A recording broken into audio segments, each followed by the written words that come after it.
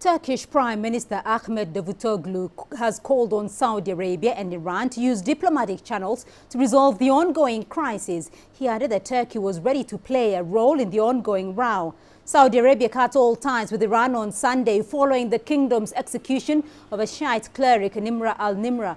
It has said it will only restore them when Tehran stops meddling in the affairs of other countries. Prime Minister Davutoglu also urged the nearby countries to act responsibly to avoid escalating tensions in the region.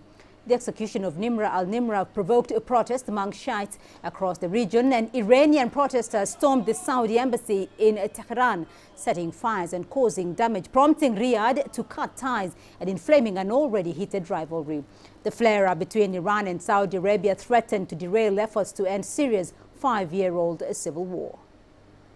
All sides must act with common sense and diplomatic channels must be given a chance immediately in order to avoid repercussions of this row over the region's peace and stability. As Turkey, we are ready to offer any constructive help we can for a solution. The region does not need new clashes, it needs reconciliation.